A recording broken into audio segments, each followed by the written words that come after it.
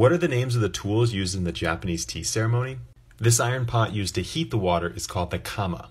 The bamboo ladle used to scoop the water is the hishaku.